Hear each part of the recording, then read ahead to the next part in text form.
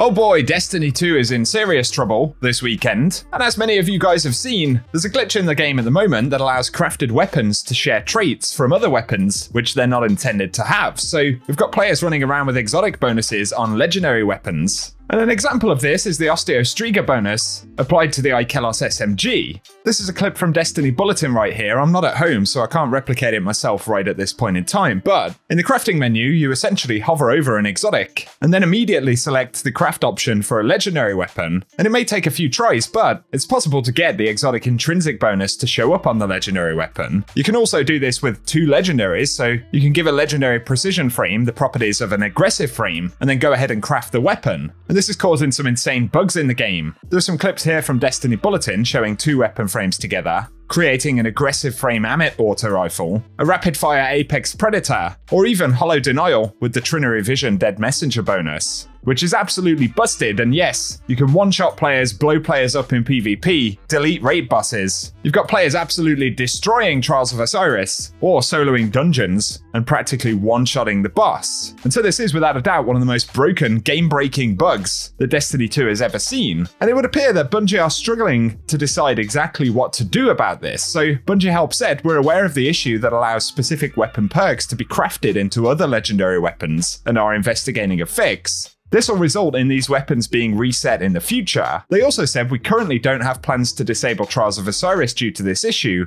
and went on to say per our ban policy, players who discover an exploit will not receive any in-game restriction or ban. However, the use of external scripting and network manipulation tools are still bannable offences and subject to security review. And the Destiny 2 team said we're exploring all potential solutions and keeping an eye out in case things get too wild and we need to take drastic measures to ensure the health of the game. In the meantime, let us have some fun, and Igneous Hammer will come back to Trials as soon as possible. Now, this has been going on for quite a few hours, nearly a full day, and at this point, a lot of players are taking advantage of this. You pretty much can't play Trials without taking advantage of it this weekend. But the fact that Bungie say, in case things get too wild, sort of indicates that they don't know exactly what the best approach is here. We've seen them take the game offline or disable pieces of gear for considerably less game breaking bugs than this. And of course, at this point, disabling crafting, for example, wouldn't really fix the issue because tons of players already have these broken weapons. Disabling all of the affected weapons, so essentially all of the craftable weapons in the game, also seems like it's a pretty difficult option. And so while Bungie are allowing this to continue at the moment, it seems very likely that we're probably going to get some kind of game rollback, where Bungie will take the state of the game back a few days even, and that in itself would wind the community up, because players will lose progress if that happens. And even if they were to kind of roll the game back, they would then probably have to disable crafting or craftable weapons entirely in order to stop this issue from continuing. So, without a doubt, once again, the biggest game breaking bug that we've seen, even to the point that in that initial term, it's pretty obvious that Bungie didn't know what approach to take. But it also creates an interesting kind of interaction in the community between different types of players. You've got those players who are exploiting this and say, well, hey, Bungie say we can do it, so it's not an issue. And on the other hand, you have players that say, hey, this is essentially legal cheating in Destiny right now, and it's spoiling the experience. Crusader on Twitter said the integrity of all of your titles and in-game achievements are all at risk. Soloing raid bosses, every Trials game is a three-stack Ammit. Destiny Fun Police essentially referred to it as legal cheats in PvP.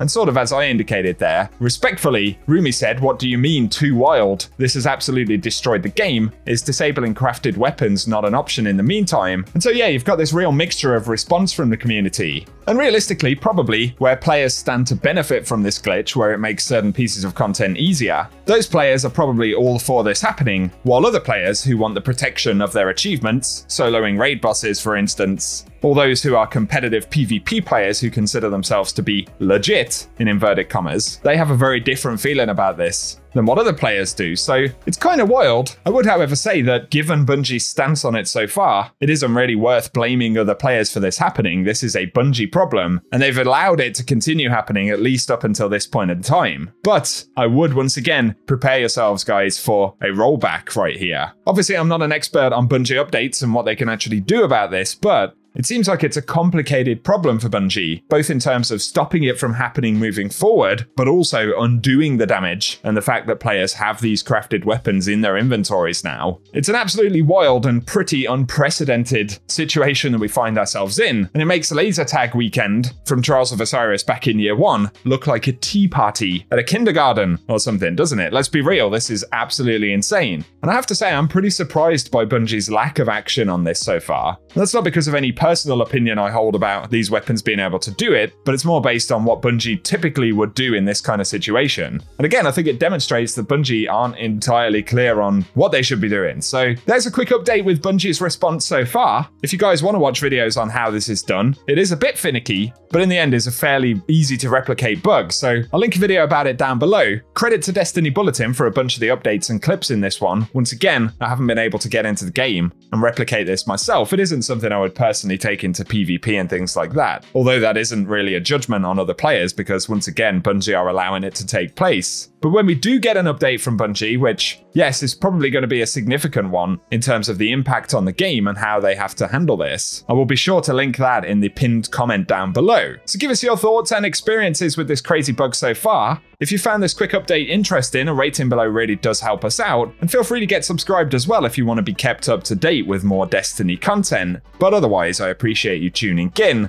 and I hope you guys have an awesome day.